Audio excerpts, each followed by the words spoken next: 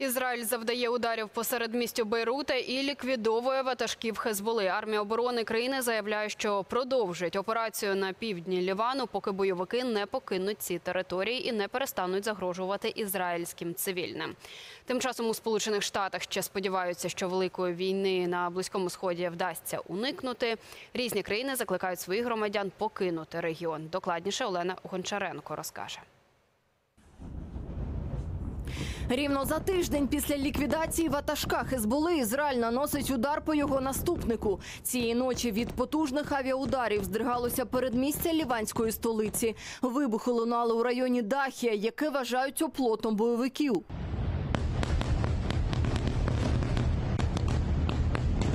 Ціллю атаки був Хашим Сафіаддін, двоюродний брат та наступник ліквідованого раніше Хасана Насрали.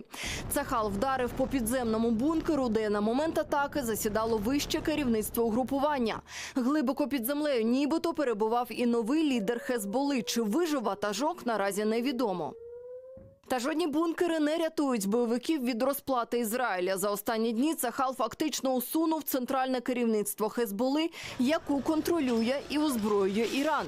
Під час ударів ліквідовано головних командирів, які займалися виробництвом ракет або контролювали поставки зброї з Ірану. І хоч Ізраїль перед ударами закликав жителів Лівану евакуюватися, Мінохорони здоров'я країни повідомляє про майже пів тисячі загиблих і переповнені табори для біженців.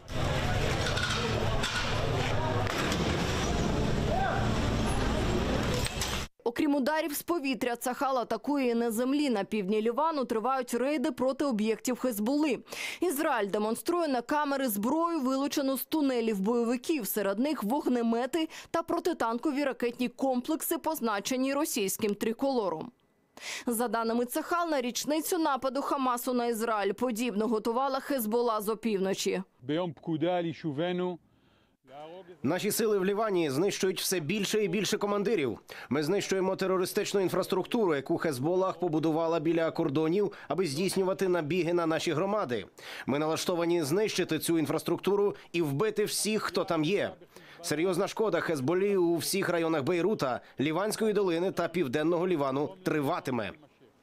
Армія Ізраїлю анонсує відповідь на нещодавну атаку Ірану, коли Техеран випустив 180 балістичних ракет.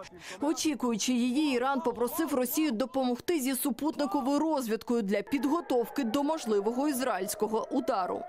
Олена Гончаренко, ми Україна, марафон. Єдині новини.